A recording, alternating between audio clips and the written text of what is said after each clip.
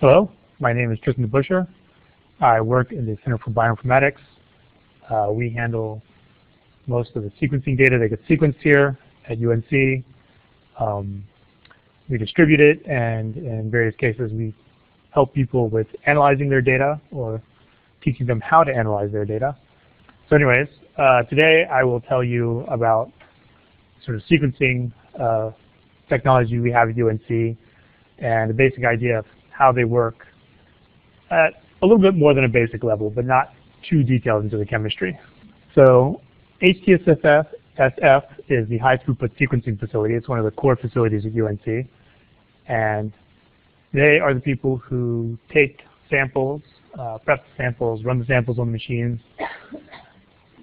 When that is done, uh, me and with the help of some of the people in the bioinformatics core, um, transfer the data off from there, uh, do the basic processing, release the data, and as I said earlier, in certain cases, um, all right, so there are three basic machines we have here at UNC. Um, most of the sequencing is done with the Illumina machines. Uh, you can think of this as the workhorse of sequencing. Uh, it produces a lot of data, um, over a million reads, uh, between 50 and 100 base pairs. So there are longer uh, reads possible. I'll get into that a little bit later. Um, generally, the Illumina sequencing takes the longest, um, but they have sort of newer machines, the MiSeq, and a rapid run capability on the bigger machines that will do the sequencing faster, but generally for a smaller set of runs. Um, then we have the PacBio machine. Uh, we've had this for about two years. Um, it's a lot different than some of the other technologies in that it sequences exactly one molecule at a time. Uh, I'll get more into why that is different. It is possible very, very long reads, uh, over 20K at the moment. One of its drawbacks is it has a lot less accuracy than some of these other sequencing technologies. And then also I will briefly talk about the ion torrent system, which I don't actually deal with as much. It's a lot different than other sequencing in that it does not use uh, detection of the base pairs through fluorescence. And it is sort of like the MiSeq, uh, this move towards benchtop sequencing where the machine's not that big and they're all sort of racing to get to this thing that you might have heard of in the news, which is the $1,000 genome that can sequence an individual person, or at least all their variants, for just $1,000. So let's start with Illumina. Uh, they have two main machines that they sell people. Uh, the HiSeq, which is more sort of industrial level machine, and then the MiSeq, which is their sort of entry into the benchtop uh, rapid sequencing.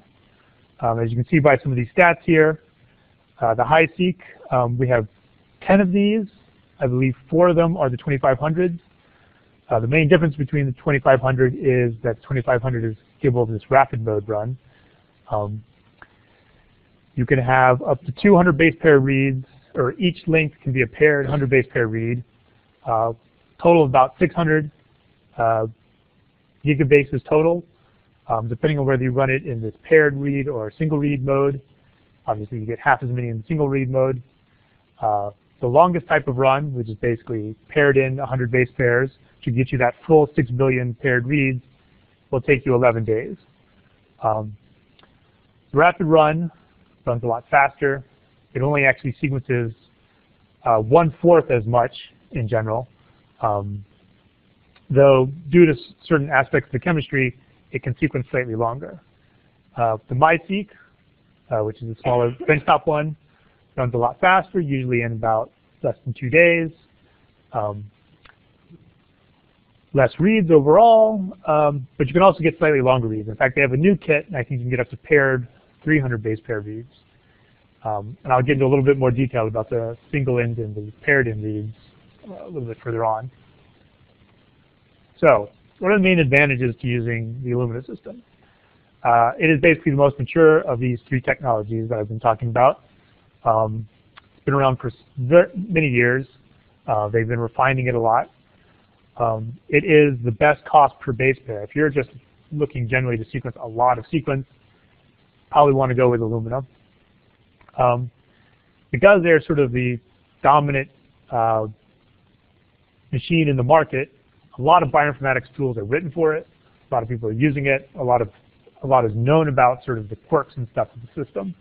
Um, so in some sense, basically going with the you know thing that is most used and most well understood and has the most support for it. Um, so as I sort of indicated earlier, there, there are several different ways to run the machine.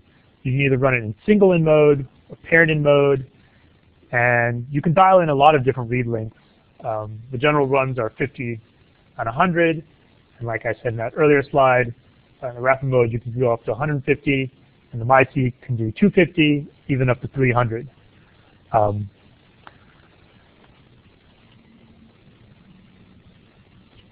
just to give you a, a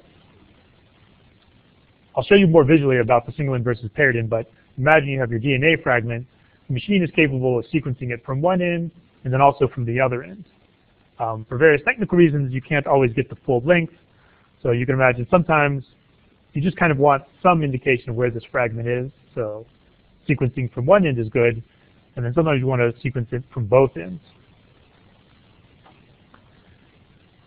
Now, like I said, Illumina's sequencing has been around for a while, so people have been using it for a lot, a lot of different uses. I mean, the basic thing the machine does is it sequences DNA, but a lot of different ways you can prepare your DNA.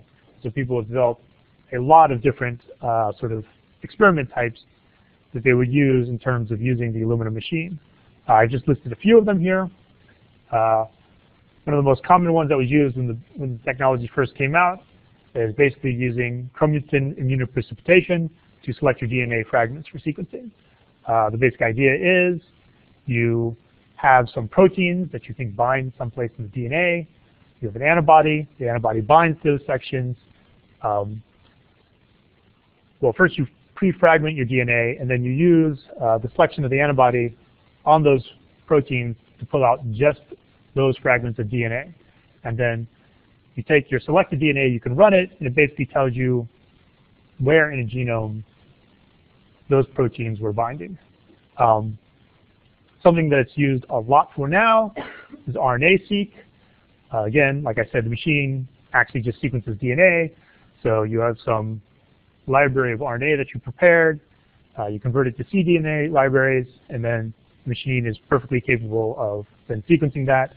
Um, this can be used for transcriptome discovery, so for organisms that haven't been fully sequenced yet, you can just go in, get their transcriptome, try to figure out what all genes they have in that organism that is actually being expressed. Um, another big use of it is differential expression studies. You basically have your organism or your cell culture. It's in one state. You try to measure what the current levels of expression of genes are. You perturb it in some way, and then you want to see how the expression of the genes have changed. Um, and that basically will show up in that if the gene is being expressed more, there should be more RNA.